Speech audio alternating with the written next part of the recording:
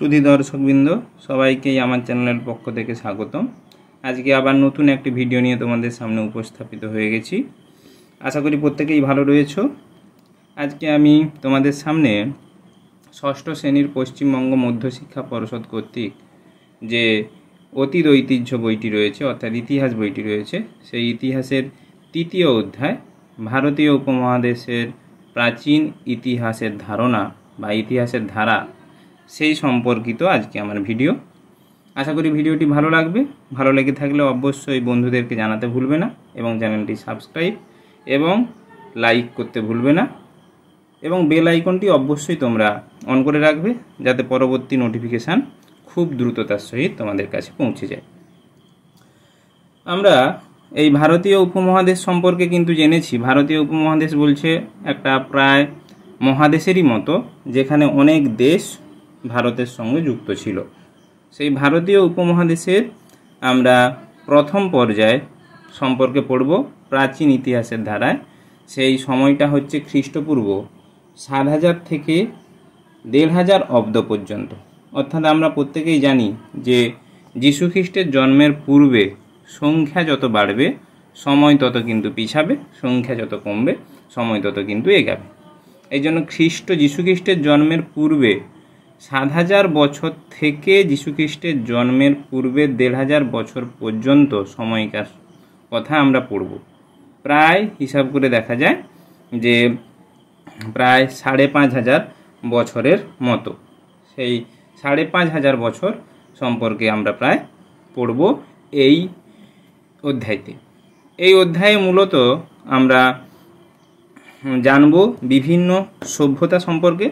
তোমাদের এই অধ্যায়ের পাঠ দেওয়ার পূর্বে তোমাদের অবশ্যই আমি বলব যে পাশে অবশ্যই ইতিহাস বইটি খোলা রাখবে এবং বিশেষ খাতা পেন নিয়ে বসবে যাতে তোমাদের নোট ডাউন করতে এবং বিশেষ গুরুত্বপূর্ণ অংশগুলো দাগ দিয়ে রাখতে যাতে তোমাদের সুবিধা হয় এবং পরবর্তী সময়ে সেইগুলো খুঁজে পেতে যাতে না অসুবিধা হয়। এবং সেইগুলো নোট ডাউন করে রাখলে সেইগুলোই পরবর্তী সময়ে তোমাদের সময় করে পড়তে সুবিধা হবে এবং ওইগুলোই গুরুত্বপূর্ণ অংশ যেগুলো থেকে সাধারণত তোমাদের পরীক্ষাতে প্রশ্ন আসে।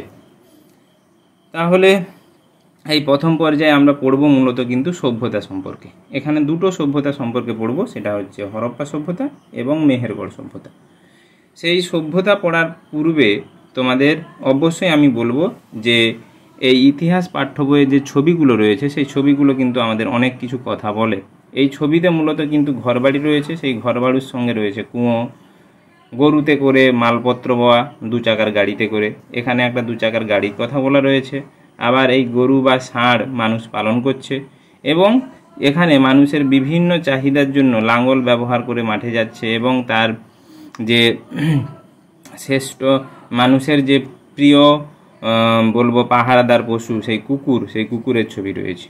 তাহলে এর দ্বারা বোঝা যায় মানুষ তখন কিন্তু কুকুরকে তাদের নিজের পাহারার অংশ হিসেবে রাখত এবং তারা পশুকে পালন করা শিখে গিয়েছে, তারা তার সঙ্গে সঙ্গে মাটির নিচ থেকে জল ব্যবহারের পদ্ধতি তারা জেনে নিয়েছে এবং তারা চাকা আবিষ্কার করার ফলে তাদের বিভিন্ন মালপত্র এক জায়গা থেকে অন্য জায়গায় নিয়ে যেতে সুবিধা হচ্ছে। সেই সব কিন্তু ছবিগুলো এই কথা বলছি। এই জন্য তোমাদের অবশ্যই আমি বারবার করে বলব, ছবিগুলো কিন্তু গুরুত্ব সহকারে গুরুত্ব সহকারে তোমাদের প্রত্যেকটা পাতার অংশে অবশ্যই দেখে থাকবে এবং দেখে বোঝার চেষ্টা করবে। তাহলে আমরা বললাম যে আনুমানিক যীশুখ্রিস্টের জন্মের সাতশো বছর থেকে দেড় হাজার বছর পর্যন্ত যে সময়, সেই সময় পর্যন্ত আমরা কিন্তু সময়ের ইতিহাস জানব ভারতীয় উপমহাদেশের ক্ষেত্রে। তাহলে মূলত কিন্তু আমরা, দেখো আমরা এর আগে মাঝের পাথরের যুগ, নতুন পাথরের যুগ এই সব জায়গাগুলো পড়েছি। সেই সব জায়গাগুলোর যে পার্থক্য ছিল, সেই পার্থক্যে কিন্তু আমরা জেনেছি, দেখো নতুন পাথরের যুগ আনুমানিক আট হাজার থেকে খ্রিস্টপূর্ব থেকে চার হাজার খ্রিস্টপূর্ব পর্যন্ত। তার মানে মূলত এই নতুন পাথরের যুগ সবে শেষ হচ্ছে এরকম সময়ে। আমরা এই ভারতীয় উপমহাদেশের ইতিহাস সম্পর্কে কিন্তু জানব এই অধ্যায়। তাহলে ভারতীয় উপমহাদেশের যাওয়ার আগে, তোমাদের মূল পাঠ্যে যাওয়ার আগে এখানে যেটুকু অংশ বলে দেওয়া রয়েছে এই অংশতে, বলছে যে ইতিহাস বলতে কি শুধু পাথরের জিনিসই বোঝাবে? কিন্তু পাথরের জিনিস বলতে তো শুধু ইতিহাসের মূল অংশ নয়, ইতিহাসের মূল অংশে কিন্তু আরও অনেক কিছু রয়েছে। সেই রুবির দাদুর কাছে আবার কিন্তু সব পাড়ার ছোট ছোট বয়স্ক ছেলে মেয়েরা গিয়েছে। সেই রুবির দাদু বলছে, না, শুধু পাথরের জীবনই মানুষের জীবন নয়, তার সঙ্গে কিন্তু স্থায়ীভাবে মানুষ কীভাবে বাঁচতে শিখলো, কৃষিকাজ করতে শিখলো, কীভাবে তারা ঘরবাড়ি তৈরি করতে শিখলো, কীভাবে তারা পশুপালন করতে শিখলো, এগুলো কিন্তু সবই এই বিশেষ মানুষের ইতিহাসের সঙ্গে যুক্ত। সেই অংশগুলো কিন্তু আমরা জানব এবং পড়ব। এইবারে আমরা আদিম মানুষের কথা জেনেছি, সেই আদিম মানুষ থেকে তারা কঠোর পরিশ্রম এবং বুদ্ধিকে ব্যবহার করে তারা পরপর আদিম মানুষ কি হচ্ছে? সভ্য হচ্ছে। সভ্য হওয়ার সঙ্গে সঙ্গে তারা নিজেদের সুবিধাতে তারা বসত বাড়ি চাষের জমি এই সব করতে শুরু করল এবং তারা একে একে কি করল? জঙ্গল পরিষ্কার করে সেখানে চাষবাস করতে শুরু করল এবং জঙ্গল পরিষ্কার করে চাষবাস করার সঙ্গে সঙ্গে তারা কি করল? দল বেঁধে থাকার চেষ্টা করল। দল বেঁধে থাকার ফলে তাদের মধ্যে কি কোনো না কোনো সময় মতের অমিল দেখা যাবে? সেই মতের অমিল নিজেদের মধ্যে যাতে না হয়, তার জন্য কি করতো? তারা নিজেদের মধ্যে বিবাদ মিটিয়ে নেওয়ার জন্য কোনো একটা বিশেষ নিয়ম ছিল তাদের, বা নিয়ম বা শাসন সম্পর্কে তাদের একটা ধারণা তৈরি হলো বা নিয়ম চালু করল যাতে তারা সেই নিয়ম মেনে চলবে কারোর সঙ্গে বিবাদ যাতে না হয়। বা বিবাদ হলে তার বিশেষ কিছু কৌশল থাকবে সেই বিবাদগুলো মিটিয়ে নেওয়ার জন্য। আস্তে আস্তে এইভাবেই মানুষ কি হলো সময়ের সঙ্গে সঙ্গে সভ্য হতে থাকল। সেই সভ্যর সঙ্গে সঙ্গে মানুষ কী করল, নিজেদের চাহিদার জন্য বিভিন্ন জিনিসপত্র তারা তৈরি করতে থাকল এবং একজন মানুষের পক্ষে কিন্তু সেই সব জিনিসপত্র নিজে তৈরি করা সম্ভব নয়। এই জন্য তারা কি করল? জিনিসের বিনিময়ে একে অপরের সঙ্গে জিনিস বদল করতে থাকল। তার পরবর্তী সময়ে মুদ্রার আবিষ্কার এবং মুদ্রার ফলে তারা কেনা বেচা শুরু করল। এর ফলে বাজার, ব্যবসা, বাণিজ্য গড়ে উঠল এবং রপ্তানি আমদানি শুরু হলো। এর সঙ্গে সঙ্গে সমাজের বিভিন্ন শ্রেণির মানুষের বিভিন্ন রকমের কাজ বা শ্রেণি অনুযায়ী বা তাদের কাজ অনুযায়ী তাদের মধ্যে কিন্তু প্রত্যেকের ভাগ বা বিভক্তি শুরু হলো। এর ফলে মানুষের কি হলো না, এক সময় মানুষ পরপর কাজের বিচারে মানুষের নানা ভাগ হলো এবং কিছু মানুষ পরপর কিন্তু বর্ণ বা লিপি লিখতে শুরু করল। সেই গ্রামে নগরে বাস করা মানুষের, গ্রাম নগরের কেন্দ্র করে গড়ে উঠতে লাগল মানুষের সভ্যতা। মানুষ যেদিন থেকে লিপি লেখা শুরু করল, সেটা কিন্তু সভ্যতার একটা মূল অংশ। তাহলে সভ্যতা আমরা কাকে বলব? না, সভ্যতা বলতে হলে সভ্যতার কিন্তু অনেক কিছু বৈশিষ্ট্য থাকবে। সেই বৈশিষ্ট্যগুলি তোমাদের এই ছকটাতে এখানে দেওয়া রয়েছে। কিছু পয়েন্ট দেওয়া রয়েছে। সভ্যতা মানে একটা এলাকায় নগর এবং গ্রাম দুটো জীবন থাকবে বা দুটো এলাকা থাকবে। সেখানে লিপির ব্যবস্থা থাকবে বা মানুষ লিখতে পেরে গেছে, সেরকম থাকবে এবং শিল্প স্থাপত্য মানুষ তাদের থাকার জন্য বা কোনো সমাধি তৈরি করার জন্য বা মন্দির এই সব জায়গা তারা তৈরি করবে এবং তাতে বিভিন্ন কারুকার্যের নিদর্শন থাকবে, শিল্প থাকবে, মানুষের হাতে গড়া কিছু, এই চাকা আবিষ্কার, এরকম শিল্প থাকবে। এবং সেখানকার মানুষের যাতে এই বাদ বিতণ্ডা বা বিবাদ যাতে না হয়, তাদের মধ্যে একটা বিশেষ শাসন কাঠামো থাকবে বা দলের কেউ একজন পান্ডা থাকবে বা দলের নেতা থাকবে, যে কি করবে? না, দলটাকে পরিচালনা করবে বা ওই গ্রাম বা শহর নগরটাকে পরিচালনা করবে। তাহলে সেই সব কিছুই যখন একটা একটা জায়গায় গড়ে উঠবে বা একটা জায়গার যখন ওই সব বৈশিষ্ট্যগুলো থাকবে, সেটাই হচ্ছে তখন আমরা ওই অংশটিকেই বলব সভ্যতা। তাহলে সভ্যতার কিন্তু অনেক বৈশিষ্ট্যগুলো আদিম মানুষের যখন পূরণ হবে, সেই বৈশিষ্ট্যগুলো পূরণ হলেই তাকে আমরা কিন্তু সভ্যতা বলব। তাহলে সভ্যতার কিন্তু অনেক বৈশিষ্ট্য থাকবে এবং সভ্যতার আরও বৈশিষ্ট্য কি? পাথরের বদলে ধাতুর ব্যবহার শিখবে, মানুষ গুহার বদলে তাদের নিজস্ব ঘর বাড়ি করে তারা সেখানে বসবাস করা শিখবে, মানুষ চাষবাস শিখবে এবং মানুষ পরপর নিজেদের উন্নতি করার চেষ্টা করবে। এবং সেই ভৌগোলিক, একটা ভৌগোলিক অঞ্চলের মধ্যে কিন্তু এই বৈশিষ্ট্য গড়ে গড়ে গড়ে উঠবে। তাহলে সেই ভৌগোলিক অঞ্চলের যে বৈশিষ্ট্য গড়ে উঠবে, তার দুটো উদাহরণ হচ্ছে দুটো সভ্যতা, মেহেরগড় সভ্যতা এবং হরপ্পা সভ্যতা। এই মেহেরগড় এবং হরপ্পা সভ্যতা সম্পর্কে আমরা জানব এগুলো প্রায় খ্রিস্টপূর্ব তৃতীয় সহস্রাব্দে ভারতীয় উপমহাদেশের নগর সভ্যতা গড়ে উঠল। প্রায় যীশুখ্রিস্টের জন্মের তিন হাজার বছর পূর্বে ভারতীয় উপমহাদেশে নগর গড়ে উঠছিল। নগর একটা সভ্যতার কিন্তু অংশ।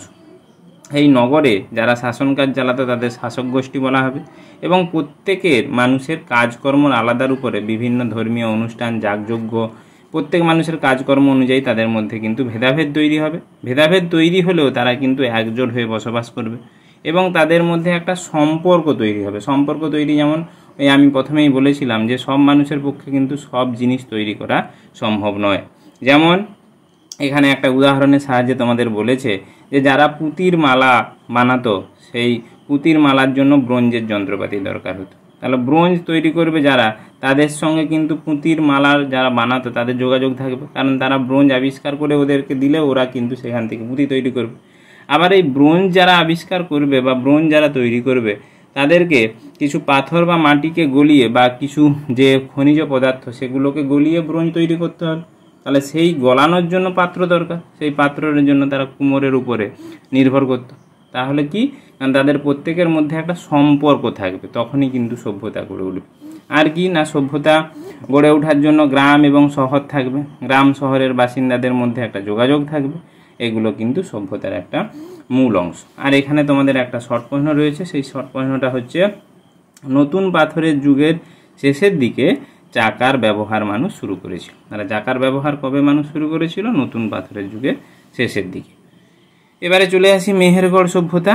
মেহেরগড় সভ্যতা সম্পর্কে জানার আগে মেহেরগড় সভ্যতার এই অংশটুকুতে আমরা পড়ব কিন্তু মেহেরগড় সভ্যতার মূল কি কাঠামো নিয়ে তৈরি হয়েছে, সেখানে কোন সময়ে মেহেরগড় সভ্যতার তিনটে পর্যায়ে ভাগ করা রয়েছে, সেই প্রত্যেকটি পর্যায়ে মানুষের জীবনযাপন কেমন ছিল, তারা কৃষিকাজ কেমন করে করতো, সেই সব সম্পর্কিত জিনিস আমরা কিন্তু জানব।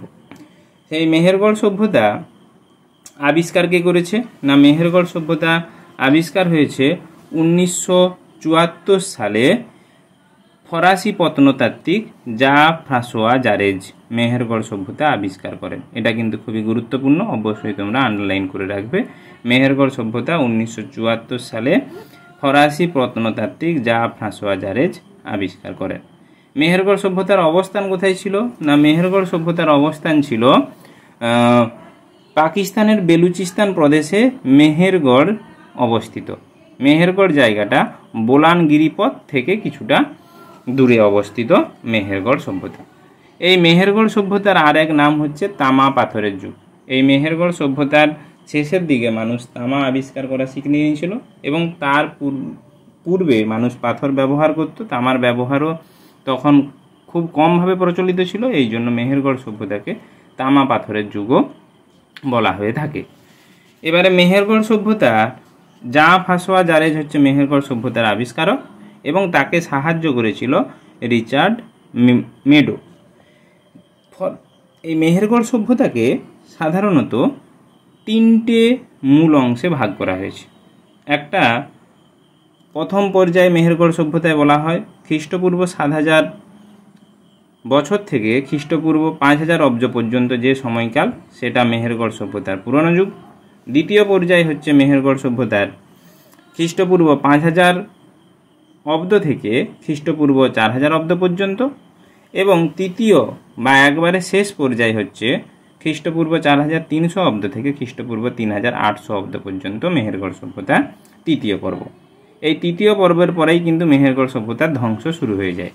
এই মেহেরগড় সভ্যতার আমরা এই যে পর্ব হিসাবে ভাগ করলাম, এই পর্বে কিছু বিশেষ আবিষ্কার হয়েছে এবং কিছু বিশেষ মানুষ পরপর সভ্যের সঙ্গে সঙ্গে তাদের নিজেদের জীবনযাপন পরিচালনা করার জন্য বা জীবনযাপনকে আরও উন্নতি করার জন্য তারা বিশেষ কিছু কৌশল ব্যবহার করা হয়েছে। সেই সব কৌশলগুলো কিন্তু তোমাদের এখানে বলা রয়েছে, যেগুলো তোমরা পড়লেই অবশ্যই বুঝতে পারবে বলে আমার মনে হয়। এই জন্য এই অংশটুকু তোমাদের বলব যে তিনটে পর্যায় এবং তিনটে পর্যায়ে কি কি ব্যবহার করা হয়েছে, সেইগুলো কিন্তু গুরুত্বপূর্ণ। তোমাদের এই অংশ থেকে যেটা পড়বে যে মেহেরগড় সভ্যতা বলতে কি বোঝো এবং মেহেরগড় সভ্যতায় মানুষের জীবনযাপন কেমন ছিল, এই রকম প্রশ্ন পড়তে পারে এবং মেহেরগড় সভ্যতার যদি বলা হয় আবিষ্কারক। মেহেরগড় সভ্যতার জীবনযাপন সম্পর্কে যদি বলে, তোমাদের এই তিনটে অংশে, তিনটে অংশতে মানুষ কীভাবে কী ব্যবহার করত, সেই সম্পর্কে কিন্তু তোমাদের বলতে হবে। এবারে মেহেরগড় সভ্যতার এই যে এই অংশটিকে কিছু মানুষ মেহেরগড় সভ্যতার শেষের দিকে শিলামোহরের ব্যবহার করা মানুষ শিখেছিল। এবং মেহেরগড় সভ্যতার মানুষ পরপর কৃষিকাজ করতে শুরু করল, নিজেদের মধ্যে ব্যবসা বাণিজ্য শুরু করল এবং তারা মুদ্রা ব্যবহার শুরু করল। এর ফলে তাদের জীবনযাপন আরও জটিল হতে শুরু করল। মেহেরগড়ের বদলের চিহ্নগুলো আরও স্পষ্ট হয়ে উঠল হরপ্পা সভ্যতায়। মেহেরগড় সভ্যতা যেভাবে পরিবর্তন হতে থাকল, তারপরে হরপ্পা সভ্যতাতে দেখলাম মানুষ আরও জটিলভাবে তাদের জীবন কিন্তু পরপর জটিল হতে থাকল। এই ছবিগুলোতে তোমাদের এখানে দেওয়া রয়েছে মেহেরগড় সভ্যতায় পাওয়া নারী মূর্তির ছবি। এখানে যে ছবিটি রয়েছে, এটা হচ্ছে মেহেরগড় সভ্যতার গ্রামের ধ্বংসাবশেষের অংশ।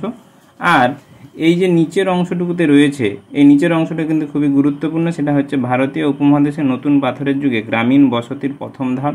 অর্থাৎ মেহেরগড় সভ্যতার ওই সময়ে ওই খ্রিস্টপূর্ব সাত হাজার অব্দ থেকে খ্রিস্টপূর্ব, আমি যদি ধরে নেই, এই তোমার তিন হাজার চারশো, তিন হাজার আটশো অব্দ পর্যন্ত সময়ের মধ্যে কোন কোন এলাকায় মানুষ বসবাস করত, সেই এলাকাটা সম্পর্কে দেওয়া রয়েছে। দেখো তোমাদের সিন্ধু নদ, এই সিন্ধু নদের পার্শ্ববর্তী এলাকায় কিন্তু আমরা বলতে পারি যে সেই পুরনো পাথরের, নতুন পাথরের যুগের পরে মানুষের বসবাস শুরু হয়েছে। সেই সব কয়েকটি বিশেষ প্রত্নতাত্ত্বিক কেন্দ্র বা মানুষ যেখানে বসবাস করতো, সেই সব জায়গাগুলোর নাম কিন্তু এখানে দেওয়া রয়েছে।